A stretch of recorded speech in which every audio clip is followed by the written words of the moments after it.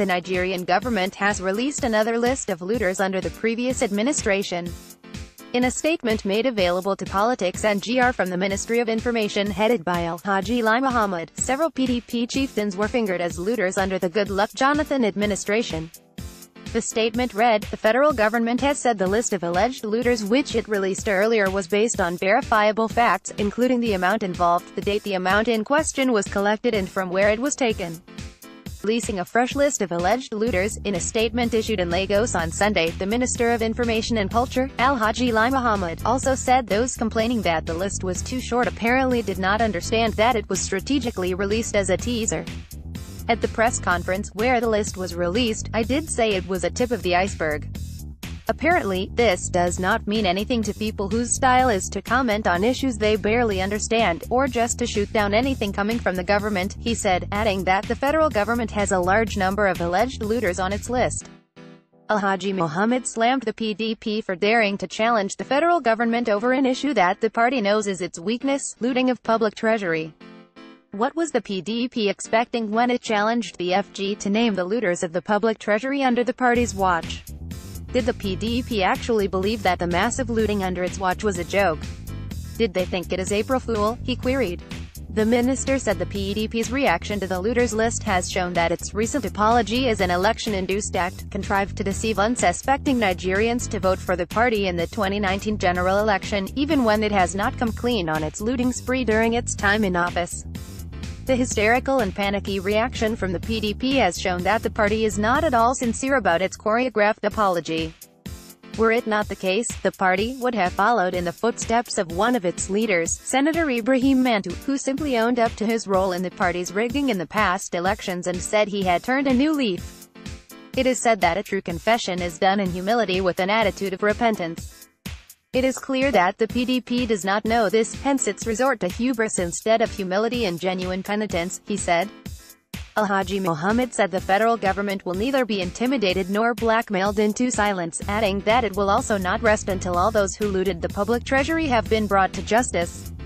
Second batch of alleged looters and the amount allegedly embezzled one former NSA Sambo Dasuki, based on EFCC investigations and findings alone. This is beside the ongoing $2.1 billion military equipment scandal, a total of N126 billion, over $1.5 billion and 5.5 million British pounds was embezzled through his office. A good number of these monies were simply shared to persons and companies without any formal contract awards to former Petroleum Resources Minister Diezani Alison Madueke. In just one of the cases the EFCC is investigating involving her, about N23 billion is alleged to have been embezzled. She is also involved in the strategic alliance contracts of the NNPC, where the firms of Jide Omokori and Kola Aluko got oil blocks but never paid government taxes and royalty. About $3 billion was involved. The federal government is charging Omokori and Aluko and will use all legal instruments local and international to ensure justice. 3 RTD, Lieutenant Gen. Kenneth Minimah, N 13.9 billion, N 4.8 billion recovered by EFCC in cash and property 4.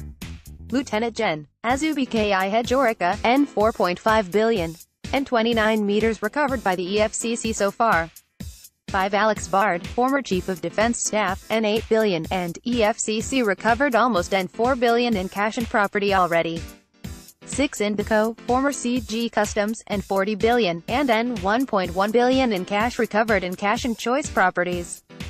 7 Air Marshal Adesola Amosun, and 21.4 billion, and 2.8 billion recovered in cash. 28 properties and 3 vehicles also recovered. 8 Senator Bala Abdul Qadir, former FCT minister, and 5 billion. Interim forfeiture order on some property secured. 9 Senator Stella Oduah, and 9.8 billion. Interim forfeiture order on some property secured. 10 Former Niger State Governor Babangida Aliyu, and 1.6 billion, from NSA.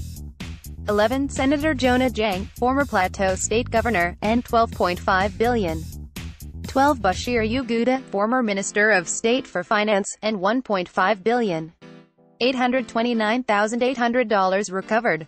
15 Senator Peter Nwaoboshi, and $1.5 billion 14. Aliyu Usman, former NSA Dasuki's 8, and $512 million 15. Ahmad Idris, former NSA Dasuki's PA, and $1.5 billion 16. Rashid Ladoja, former Oyo governor, N 500 million 17. Tom Ikimi, N 300 million 18. Femi Fani Kayode, N 866 million 19. Hassan Tukur, former PPS to President Goodluck, $1.7 million 20. Nenadi Usman, and $1.5 billion 21.